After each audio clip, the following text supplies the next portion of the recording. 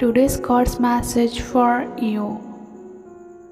The Supreme God claims, Come close and feel the depth of my love envelop you like a majestic waterfall. Tonight is not just another night fading into history. It marks the glorious start of a new chapter in your life with me. Prepare yourself, for you are about to encounter the immense power and majesty of my spirit in ways you've never seen before. Do not fear or let your heart be troubled, for I am your everlasting shelter, a strong tower that will never falter.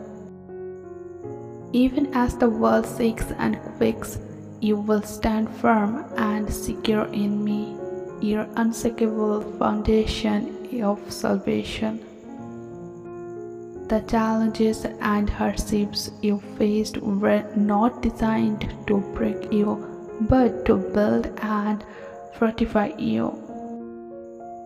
Each tear you have seen in your toughest times has served to cleanse and refine you, removing impurities and unveiling the beauty gem that you truly are to me.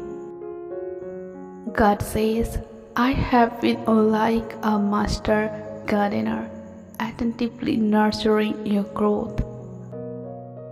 Now you are blooming into a stunning flower, showcasing the beauty of my handiwork for all to see.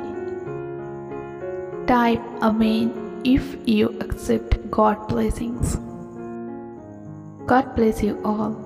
Please like and share this video with someone who needs this. Thanks for watching.